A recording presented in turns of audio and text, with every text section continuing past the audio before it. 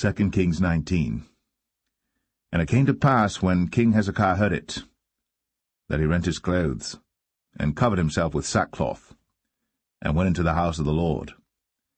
And he sent Eliakim, which was over the household, and Shebna the scribe, and the elders of the priests, covered with sackcloth, to Isaiah the prophet the son of Amoz.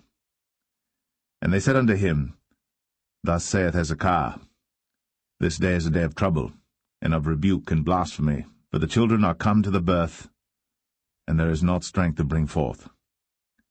It may be the Lord thy God will hear all the words of Rabshakeh, whom the king of Assyria his master hath sent to reproach the living God, and will reprove the words which the Lord thy God hath heard. Wherefore lift up thy prayer for the remnant that are left.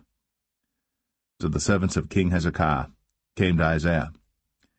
And Isaiah said unto them, Thus shall ye say to your master, Thus saith the Lord, Be not afraid of the words which thou hast heard, with which the servants of the king of Assyria have blasphemed me. Behold, I will send a blast upon him, and he shall hear a rumour, and shall return to his own land, and I will cause him to fall by the sword in his own land. So Rabshakeh returned, and found the king of Assyria warring against Libnah, for he had heard that he was departed from Lachish. And when he heard say of Tirhakah, king of Ethiopia, Behold, he is come out to fight against thee, he sent messages again unto Hezekiah, saying, Thus shall ye speak to Hezekiah king of Judah, saying, Let not thy God in whom thou trustest deceive thee, saying, Jerusalem shall not be delivered into the hand of the king of Assyria. Behold, Thou hast heard what the kings of Assyria have done to all lands by destroying them utterly. And shalt thou be delivered? Have the gods of the nations delivered them which my fathers have destroyed, as Gozan and Haran, and Rezeph, and the children of Eden, which were in Thelasar? Where is the king of Hamath, and the king of Arpad, and the king of the city of Sepharvaim, of Hena and Ivah, and Hezekiah received the letter of the hand of the messengers, and read it. And Hezekiah went up into the house of the Lord, and spread it before the Lord. And Hezekiah prayed before the Lord, and said, O Lord God of Israel, which dwellest between the cherubims, Thou art the God, even thou alone, of all the kingdoms of the earth. Thou hast made heaven and earth. Lord, bow down thine ear, and hear. Open, Lord, thine eyes, and see and hear the words of Sennacherib, which hath sent him to reproach the living God. Of a truth, Lord, the kings of Assyria have destroyed the nations and their lands, and have cast their gods into the fire. For they were no gods, but the work of men's hands, wood and stone. Therefore they have destroyed them.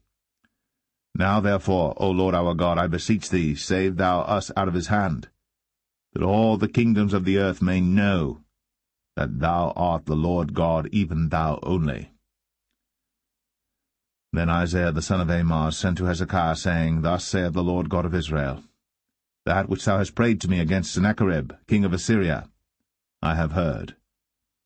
This is the word that the Lord hath spoken concerning him. The virgin, the daughter of Zion, hath despised thee, and laughed thee to scorn. The daughter of Jerusalem hath shaken her head at thee. Whom hast thou reproached and blasphemed? And against whom hast thou exalted thy voice, and lifted up thine eyes on high? Even against the Holy One of Israel. By thy messengers thou hast reproached the Lord, and hast said, With the multitude of my chariots I am come up to the height of the mountains, to the sides of Lebanon, and will cut down the tall cedar trees thereof, and the choice fir trees thereof, and I will enter into the lodgings of his borders and into the forest of his Carmel. I have digged and drunk strange waters, and with the sole of my feet have I dried up all the rivers of besieged places. Hast thou not heard long ago how I have done it, and of ancient times that I have formed it? Now have I brought it to pass, that thou shouldst be to lay waste fenced cities into ruinous heaps, Therefore their inhabitants were of small power. They were dismayed and confounded, They were as the grass of the field, and as the green herb, as the grass on the housetops, and as corn blasted before it be grown up. But I know thy abode, and thy going out and thy coming in, and thy rage against me, because thy rage against me and thy tumult is come up into mine ears. Therefore I will put my hook in thy nose, and my bridle in thy lips, and I will turn thee back by the way by which thou camest. And this shall be a sign unto thee. Ye shall eat this year such things as grow of themselves, and in the second year that which springeth of the same. And in the third year sow ye and reap, and plant vineyards, and eat the fruits thereof. And the remnant that is escaped of the house of Judah shall yet again take root downward, and bear fruit upward. For out of Jerusalem shall go forth a remnant, and they that escape out of Mount Zion.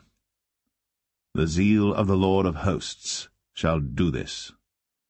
Therefore thus saith the Lord concerning the king of Assyria, He shall not come into this city, nor shoot an arrow there, nor come before it with shield, nor cast a bank against it. By the way that he came, by the same shall he return, and shall not come into this city, saith the Lord. For I will defend this city to save it, for mine own sake, and for my servant David's sake. And it came to pass that night, that the angel of the Lord went out, and smote in the camp of the Assyrians an hundred fourscore and five thousand. And when they arose early in the morning, behold, they were all dead corpses. So Sennacherib king of Assyria departed, and went, and returned, and dwelt at Nineveh.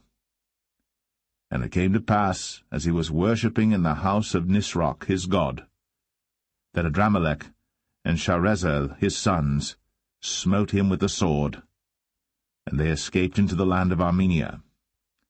And Esarhaddon his son reigned in his stead.